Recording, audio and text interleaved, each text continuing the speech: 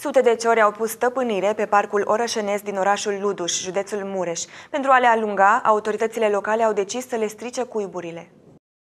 Cu ajutorul angajaților ADP a început demolarea cuiburilor din copaci. Aproape fiecare copac din parcul central adăpostește cel puțin câte un cuib de ciori. Zburătoarele fac mult zgomot și foarte multă mizerie, aleile și băncile din parc fiind acoperite cu excrementele păsărilor. Pentru a rezolva această problemă, primăria a decis să strice cuiburile de ciori în speranța că după ce zburătoarele vor rămâne fără casă, vor pleca din parcul central. Angajații primăriei Luduș s-au pus astfel pe treabă și toate cuiburile construite de ciori în copacii din parc au dispărut și odată cu ele probabil va dispărea și zgomotul, mizeria și mirosul. Cu toate acestea, în mai puțin de 24 de ore, cuiburile au reapărut. S-a încercat și varianta vânărilor, dar echipa de vânători contractată nu a reușit să facă prea mare lucru, fiindcă ciorile și-au luat zborul.